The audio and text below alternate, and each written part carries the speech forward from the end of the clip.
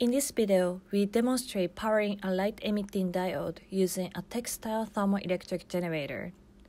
The figure on the left-hand side shows the schematic image of our textile power generator.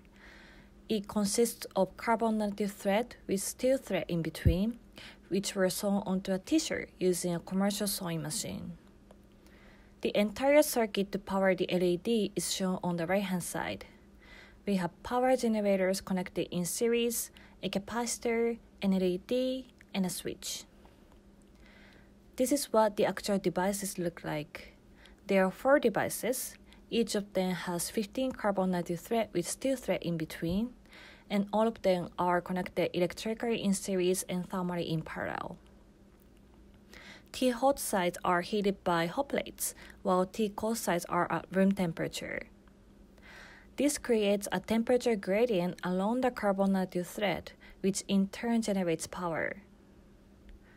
Right now, the switch is connected to A, so we are charging the capacitor with these four thermoelectric power generators. Now we will switch to B, which will discharge the capacitor to light up an LED. And yes, we can see the light came out. Let's do this again we switch back to A to charge the capacitor.